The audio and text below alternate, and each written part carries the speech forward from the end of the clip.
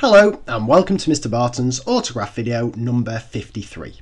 Now kind of continuing the theme of last week where we looked at how we can create worksheets from autograph, Today I'm going to just show you a nice way where you can create number lines on Autograph because Autograph isn't just good for drawing straight lines and quadratic curves and all that. It can do transformations, it can do geometry, it can do statistics, but it can also be used for simple place value and negative numbers and adding and subtracting work. So let's get ourselves a number line. So I've just cracked open Autograph in standard mode, not touched a single thing here. Everything's looking as it normally does on setup. Uh, first thing I'm going to do, get rid of that key. So hover down the bottom, right click, show key, disappeared. Now to get a number line, what I don't ideally want is this y-axis. So I am going to go on to edit axes and I'm going to go on to options and I'm going to go for that one, hide, and it's the vertical axis, the y-axis. Click OK. Sorry, email coming through there. And there we get something that's kind of half resembling a number line.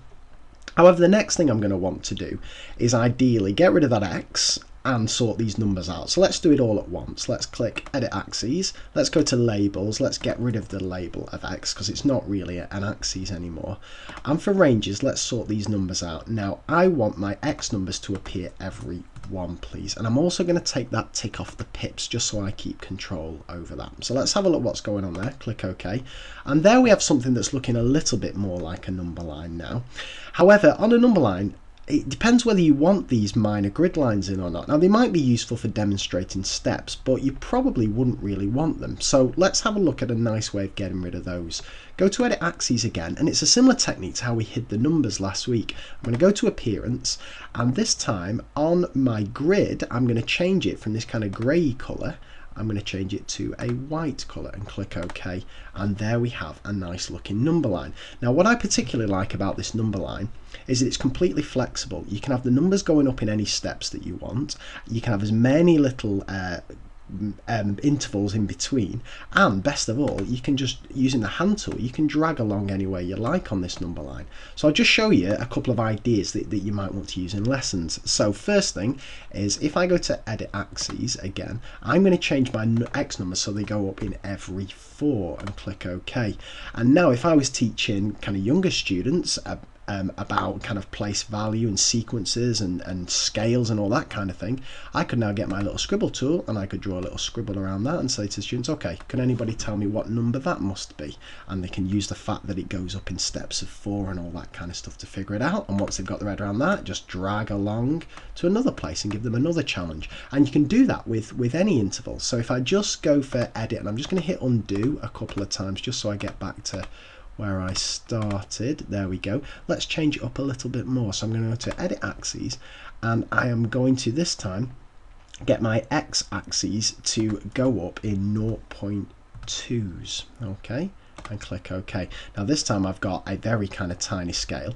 If I take off my equal aspect mode, I now get a little bit more freedom to change my X values because at the moment they're tied to my Y values, but there's no benefit to equal aspect mode when I haven't got a Y axis.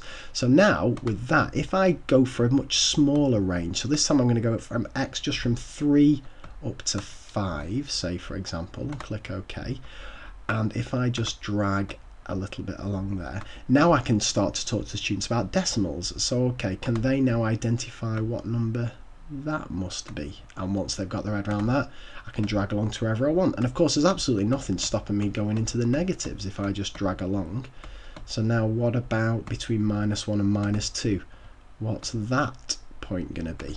And again, it just unearths all those misconceptions. And you can go into the thousands, you can have things going up in tens of thousands, you can have things going um, up in intervals of 0.5, 2.6, what, whatever you want. It's a very flexible number line, and I think it turns out to be quite a useful uh, learning tool. If you're thinking to yourself, well, wait a minute, those numbers are a bit small and that, that line's a bit skinny, well, that's not a problem. Just go to axes numbers pump them up to whatever you want, get as thick a line as you like, Let's see if that looks any better. Now we've got a nice thick number line. So there you go, a nice flexible way that you might want to use Autograph to create some number lines. And of course, if you go to edit, sorry, if you go to page and copy page, you can then paste that wherever you like. So you can create some nice worksheets as well if you want. So that's uh, how you might want to use Autograph for number lines. I Hope that was useful and I will be back with a fresh video next week. Bye for now.